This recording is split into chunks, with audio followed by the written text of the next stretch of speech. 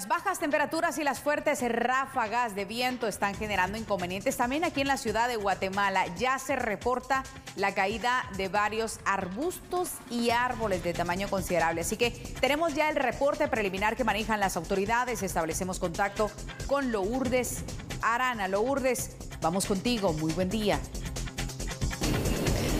Muchas gracias compañeros por el cambio y efectivamente se han reportado la caída de varios árboles. Esto, a los fuertes, esto debido a los fuertes vientos que se han registrado durante el fin de semana y inclusive hoy lunes se tiene el reporte de que los vientos no han cesado. En este caso, el cuerpo de bomberos voluntarios ha atendido algunas de estos inconvenientes, eh, específicamente en los departamentos de Zacatepeques y en el municipio de Misco.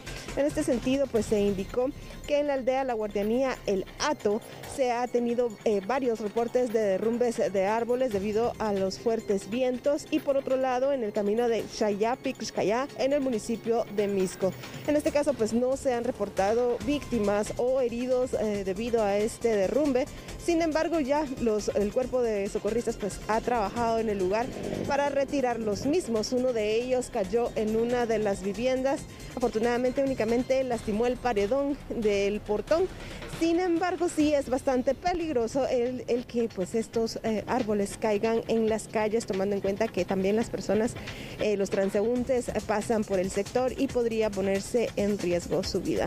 En este caso, nosotros estaremos actualizando un reporte de cuántos eh, árboles han caído hasta el momento, esto tomando en cuenta de que se mantienen los fuertes vientos.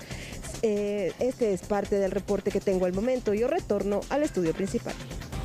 Urdes Arana por la información y lo más importante es que usted también tome sus medidas. Por favor, abríguese muy bien porque estas bajas temperaturas van a continuar afectando a la ciudad de Guatemala, pero también en el occidente del país.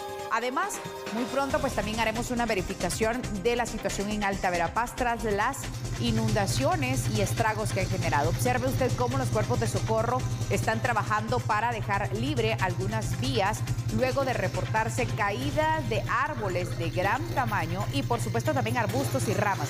Es importante que usted, si detecta alguna situación que podría complicarse en su barrio, en su colonia, es decir, una rama que esté a punto de caer, un árbol que también esté en la misma situación, repórtelo siempre incluso a la Policía Nacional Civil para que ellos activen el protocolo y así evitar más inconvenientes en su comunidad.